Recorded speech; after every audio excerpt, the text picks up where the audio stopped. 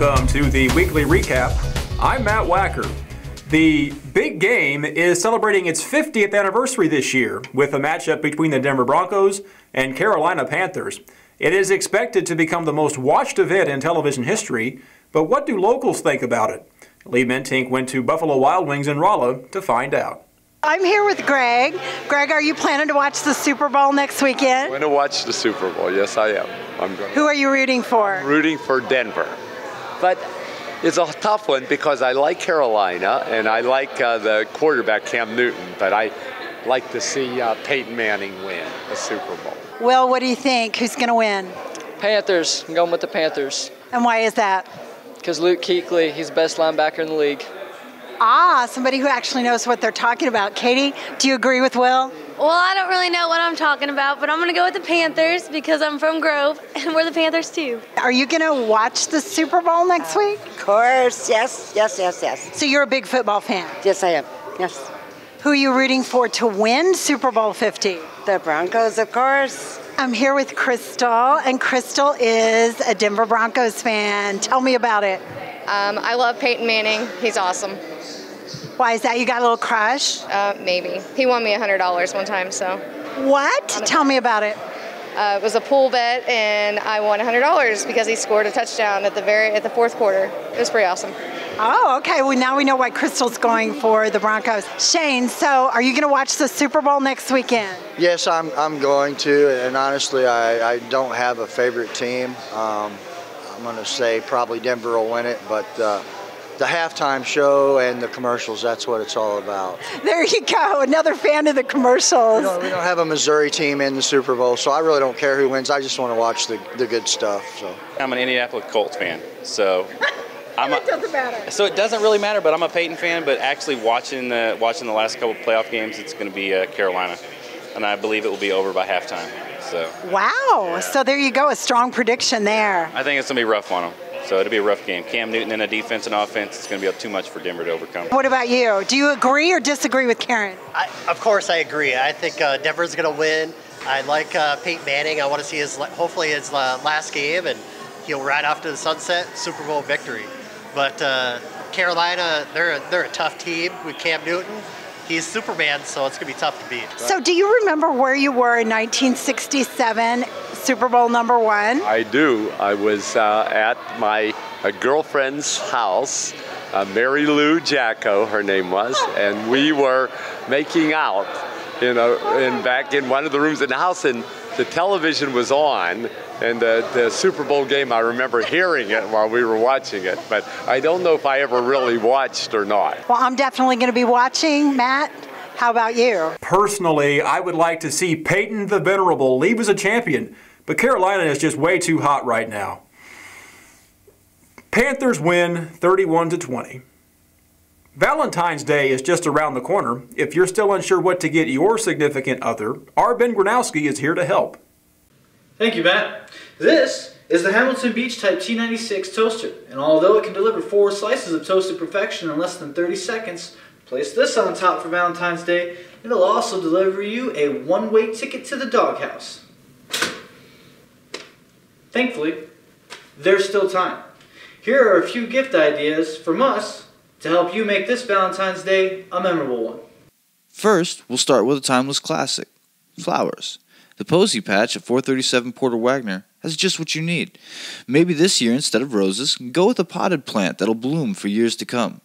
Or perhaps your sweetheart is more of a sweet tooth. In this case, grab a candy bouquet instead. The best thing about flowers is they can be incorporated with many other gifts. One such gift, jewelry. In this case, your next stop should be at Zerly Pearl, located in the West Mains Plaza. Here you'll find a wide range of affordable, unique, and handmade jewelry. Shopping here will ensure a one of a kind, fashion forward accessory for your Valentine. Unique items tell your loved one that you didn't just order from a catalog or a top 10 seller list. If fashion forward isn't quite your thing, or perhaps you're shopping for a collector, then swing by the old time flea market antique mall at 601 Washington Avenue. Your gift doesn't have to be new to be special. The best part is, you never know what you can find here with three different levels to explore. Plus, whatever happened to getting your mom a Valentine's Day gift? Maybe seeing some of these antiques have sparked your creativity. In that case, drive just up the square and you're going to find iDesign Memories. Not only will you meet a quick friend in Mojo, but you'll find many different ways to personalize your gift. Use your own graphic or have them create one from your idea. Apply it to a shirt, hat, hoodie. Ask them about decals, wall graphics, signs, tote bags, even koozies. The creative possibilities here are absolutely endless. If finding that gift has got you drained, or if you're looking for a way to relax with your loved one, try Callista at 1416 Southern Hills Center. Here, you can have a couples massage with the tranquil sounds of a waterfall in the background. Or perhaps you want to treat her to a pedicure while you relax in the woods. Yep, this is a man cave in the spa just for you. Another option is to take the spa home with a wide range of products to choose from and staff willing to help with absolutely any budget. You can't go wrong here. Valentine's Day will be here before you know it. And with that, back to you, Matt. Oh, she'll like this. Preparations are underway for a solar farm on 20 acres east of the High Point Industrial Park. Board of Public Works President Nick Barrick said MC Power plans to have the solar units online sometime in the coming spring. Installation of the panels will begin this month. Rolla's solar facility will consist of over 10,000 solar panels producing 3.2 megawatts of power, making it one of the largest in the state. Voters in Lebanon will soon have the chance to elect the city's next mayor. Three candidates have filed for the position, including incumbent Mayor Lyle Anderson. Challengers are Mayor Pro Tem and 4th Ward Councilman Bill Wheeler and local businessman Josh Ray. Lee Mentink recently talked to the candidates to find out where they stand on primary issues. What would you say is the primary objective for the city of Lebanon over the next four years? The primary objection for Lebanon is just like it is for every other municipality. We're here to provide for the comfort and safety of our citizens. We do that with our utilities, we do that with our police and fire, and uh, we have to nurture those people that provide and do for those utilities, take care of our policemen and our fire, and that will provide for the comfort and safety of our people. I see the economics of Lebanon and Laclede County being the priority that I will address. Uh, we need to be mindful that we have a lot of industry and uh, retail that stayed with us during the hard times uh, seven or eight years ago, and we need to be thankful for them. But having said that, we need to move on and start attracting more industry, more retail. I have been talking about bringing more retail to Lebanon for 10 or 15 years. And uh, with the economics like it is across the country, I think now is the time to start encouraging more retail coming to Lebanon. They hire people just like manufacturing does, and uh, we are a, uh, a, a community that draws people to our retail, and we need to enhance that every chance we get. Well, we've got a growing population, so we want to uh, meet or exceed the needs of that growing population. So basically, we need to be looking towards the, the future instead of handling just what, what issues face us right now. Okay, so in terms of the future, what do you predict is the next step to economic growth and development for the city? Uh, we've got to educate and develop our workforce, uh, training them to meet uh, the, the growing requirements of existing businesses here in town. Also, we need to uh, do so so that as those businesses expand, we're also encouraging other business to move here because we have the workforce that they need to be here. Uh, and also, I think that we need to develop more of an entrepreneurial spirit in uh, our, our citizens to where they will address uh, their problems by going out and trying to solve them themselves as well. Okay, so basically economic growth through workforce development, entrepreneurship, and that kind of thing. How do you plan to bring in the the companies, the industry? Uh, we work really close with REDI, uh, R-E-D-I. Uh, their economic development uh, specific. We contract out with them for the city. They've done a lot of work uh, to bring business here. Uh, so that is that is our main tool for getting out there and encouraging the businesses to, to move here. economic development will revolve, in my mind, around moving Lebanon into the 21st century. We have to move into a computer oriented society. We want our town to have area wide broadband, which we will either do as a utility or in a partnership with Fidelity. Technology has broad economic implications. We are not going to continue living in the kind of society that we've had for the last 150 years. Everything is going to be service and intellectually, technologically oriented. And we have to be as modern as we can be. We need to have a change of attitude at City Hall. I want my administration to have a an attitude that is uh, more comfortable for retail and manufacturing to when they start looking at uh, Lebanon as a possible uh, site for, for them to relocate. And they look at everything uh, when they when they look at manufacturing. You know, they look at our schools, and we have great schools. They look at our hospital. They look at our churches, and they they look at things like our library that we're in now. So, with a change of attitude at City Hall, I think we can really uh, bring some people to town to try to make the area more attractive for those industries. Absolutely, absolutely. Uh-huh. Okay, so if elected mayor in April, what are the first three things that Bill Wheeler will do for the city of Lebanon? Well, I want to uh, change the morale of our city workers more than anything. I uh, am friends with a lot of our city workers and they confide in me, and they are simply not very happy and, you know, without good uh, workers in our city, uh, we can't provide any services. Uh, the city is just we're a service giver. And without good workers, especially in the fire, in the police, and manufacturing and retail, look at that. What kind of a fire department do you have? What kind of a police department do you have? And the very first thing that I will do is sit down with the public works and the fire and the police and all of the city workers and assure them that city of Lebanon is behind them in what they're trying to do in their jobs, their individual jobs. The second thing I want to do is build a good relation with the county, with county government. I think there's a lot to be desired. Uh, there is a lot of competition between the county and the city, and that is not good for any of us. Uh, there's a lot of redundancy in what we provide for our citizens, and I want to sit down with the, uh, gov- uh, the county officials and uh, see what we can do about increasing our relationship between those two entities. And the third thing, I want to sit down with the citizens and see what they want for the city. And I will have an open door policy.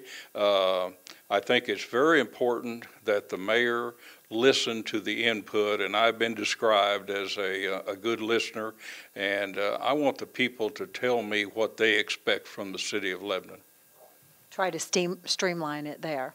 Yes. Uh, I, I want to listen to them and I want the council to hear them. And uh, not saying that we will do each and everything that somebody asks, but I, I want people to feel comfortable talking with city officials, uh, both the mayor, the city administrator, and all the people who work for the city. And uh, that will be one of my one of my goals, one of the early goals that I have. What do you feel have been your most important accomplishments in your prior term as mayor?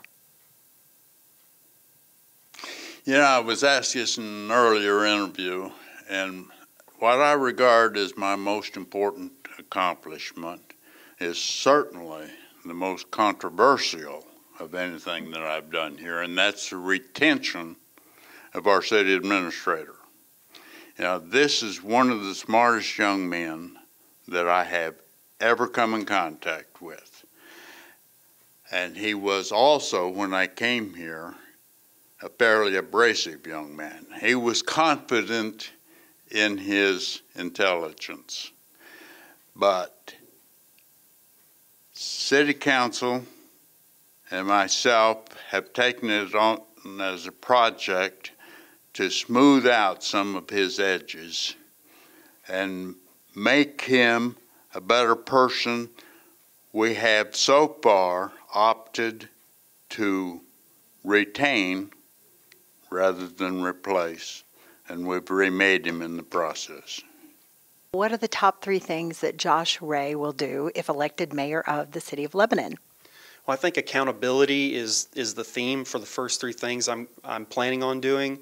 Uh, first is to set up uh, uh, monthly meetings with kind of a revolving door of of uh, interests. Uh, every third month, I'd like to have a town hall meeting. Um, of those, uh, you know, one month we, we look at manufacturers, one month we look at maybe nonprofits, and then uh, have a town hall meeting and tie all that together to where I can give an update to the citizens at least once per quarter, let them know what we're going to do.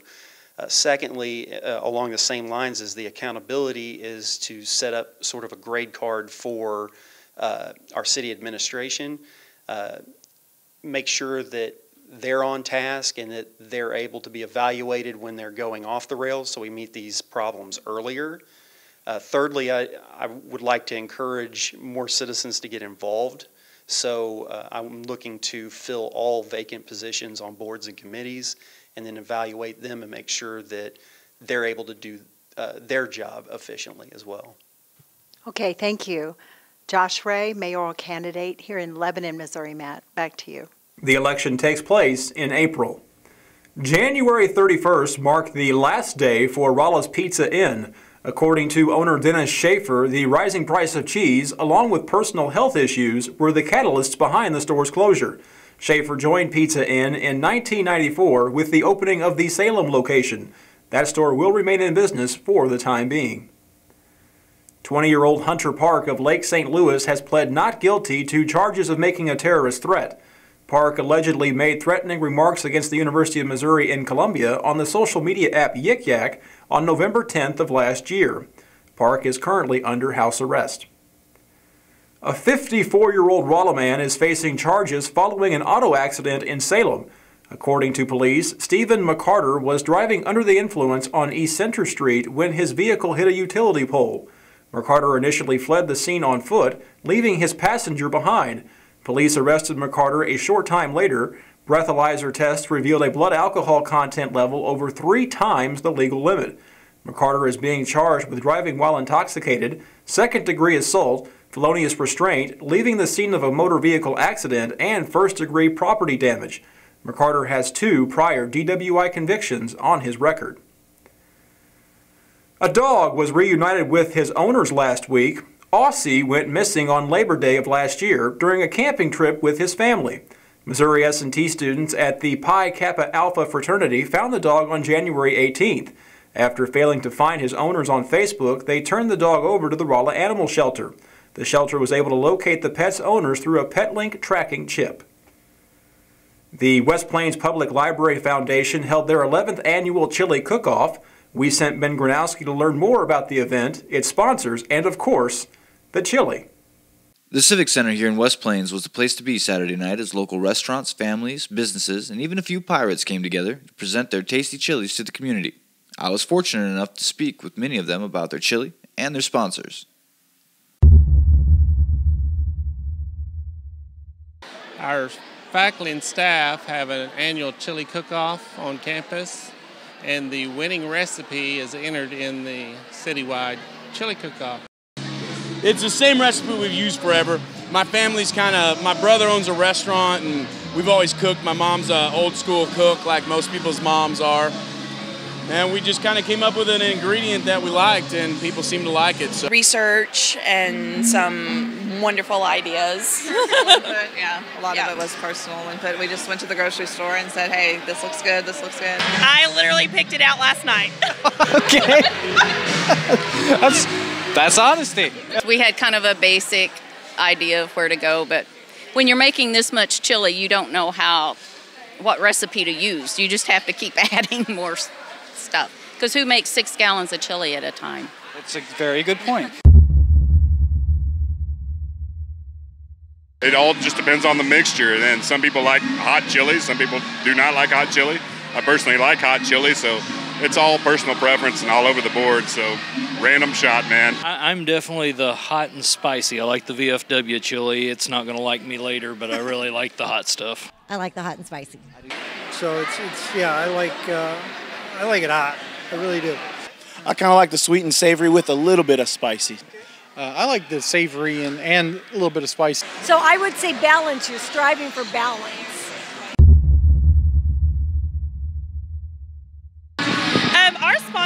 Is um, investing in our future. It's Vote Yes for Proposition 1 um, for April 5th ballot. And it is for West Plains R7 School District. We're doing some additions to the high school, adding a new high school, changing some things around. And it's going to be a great investment for our community, for our kids.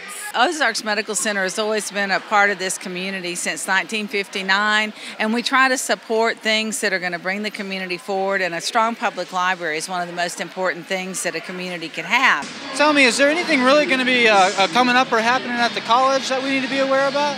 Uh, there's always things coming up at the college. Uh, the next thing, community wide, is our February film series. There's a show each week, and they're free to the public. By the end of the night, I learned that this was the largest cook off yet, and folks were already making plans for next year. To find out more about the results of the cook off, or the Library Foundation itself, you can visit the West Plains Public Library at 750 West Broadway. That's all for now. Join me next week for another edition of the Weekly Recap. Thanks for watching.